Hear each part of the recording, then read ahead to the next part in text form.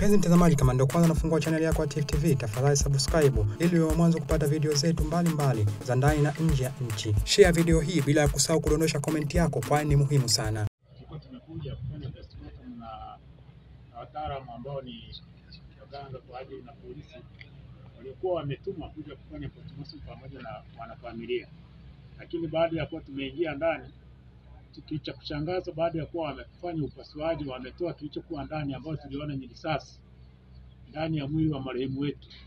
Baada ya kuwa tumetoa maelezo, cha cha ajabu ni kukimbia na ni kutoroka na, na risasi iliyokuwa ndani ya mwili bila sisi, bila sisi kutoa maelezo na wala kusaini sisi wanafamilia na, kutu, na kututelekeza tukiwa tukiwa tukiwa kwenye, kwenye chumba cha mochari bila maelezo, na tunashangaa mpaka sasa hivi hatujui kinachoendelea. kwa kutudanganya kana kwamba wanaenda kupiga muhuri ili tusaini.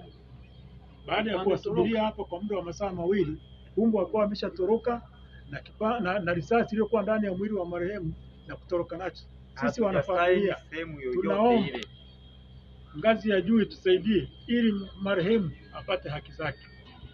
sababu mpaka hapo walianza kutoka mmoja mmoja wanaenda. Sasa hatukujua kwamba nini kinachoendelea. Wenyewe walichotaka tutoe maelezo na tusaini. Tulipoomba kwamba tunataka tuone ambacho daktari amekiandika, daktari ionekana hayupo wala hatukuona walipoelekea ambao walikuwa wanahusika na hicho kitu. Kiukweli mwili hatutaubeba mpaka ambapo hiki kitafanyika jinsi inavyotakiwa. Tangu Tunaomba sheria marehemu ifuate haki yake. marehemu apate na mauti tarehe tano mpaka leo wanatuzungusha. Leo hii wamekuja wanakimbia, wamekimbia wanachukua risasi leo ndani, wanatoroka, wanaenda. Sasa sisi tufanyeje? Kwani wasi, wa- wasisome kilichoandikwa ili na sisi tupate kusaini? Eh, tukisha saini si tutachukua kilicho chetu na wao waondoke na chao kwa kisheria? Eh, kwa nini wanatufanyia unyama huu? na wanafamilia mpaka sasa hivi sisi hatuko tayari kupokea mwili wa marehemu mpaka kituekerweke na tusaidiwe na vyombo vya ngazi ya juu.